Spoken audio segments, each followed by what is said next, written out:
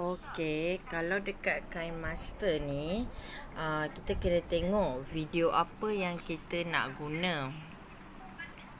Contohnya kalau kita nak nak upload ke YouTube, kita selalunya uh, kita tekan dekat create new ni lah. Okey, kita tekan dekat create new ni. Kalau kita nak upload ke YouTube, kita akan ambil yang 169 kiri ni. Kalau kita nak upload ke TikTok yang 916, kalau ke IG yang satu satu. Ha, ikutlah yang mana yang ikut kesesuaian. So selalunya kita akan 169 atau 916 lah. Okay, so kalau nak TikTok kita memang uh, so jadi kalau kita upload ke YouTube kita kena pastikan bila kita rakam tu melintang video-video tu. Tapi kalau kita nak upload ke TikTok, pastikan bila kita rakam tu handset kita portrait uh, menegak. Uh, kalau YouTube landscape melintang, kalau TikTok menegak. Kemudian kita tekan next je Okay Bila kita tekan next Mula-mula sekali kita kena letak background lah Okay so contohnya ha, Ni dia kan ada keluar folder-folder So contohlah saya letak uh, Yang ni background. Okay. Uh, So saya kalau nak ubah Saya just klik. Kemudian saya klik dekat sebelah gunting ni untuk saya tekan sama dengan ni sebab saya nak dia samalah awal dan akhir. Contoh ha, saya nak dia zoom sama.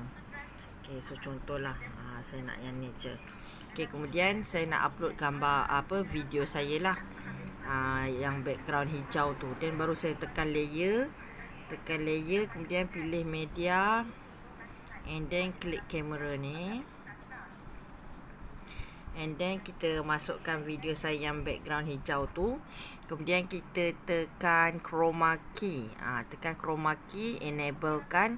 So kalau macam ni kan kita nampak macam ber, berkabur kan. So kita boleh adjust ha, Kita adjust kiri kanan. Ha, Kalau kita tekan yang Key color ni kalau kita punya background warna lain Kita boleh ubah lah Hijau dia lain ke. Ha, Kemudian sebelah ni detail curve.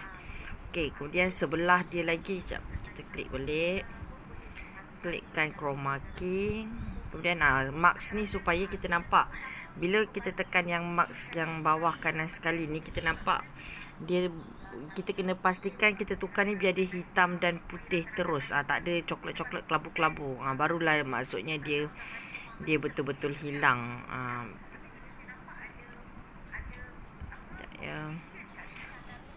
Ha, yang dekat sini yang kita kena main ha, macam ni kan bila dia hitam putih jelas baru dia betul-betul cabur lah ha, lepas tu kita tekan balik yang bawah tu ha, tengok barulah kita nampak dia dia tak hilang ha, eh barulah dia hilang lebih lebih jelas lah. Ok ha, then tick right. Ok so ini kan nampak macam atas tu tak kemas kan? Kita pun boleh crop juga. Pergi je dekat bawah kita crop kan?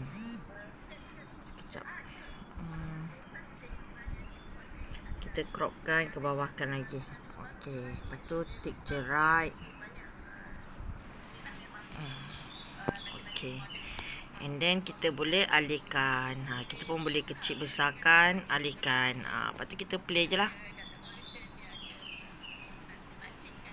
Ha, bila kita dah play tu kita export lah. Export yang atas kanan ni kita boleh export ikut size. Ha, macam tu lah lebih kurang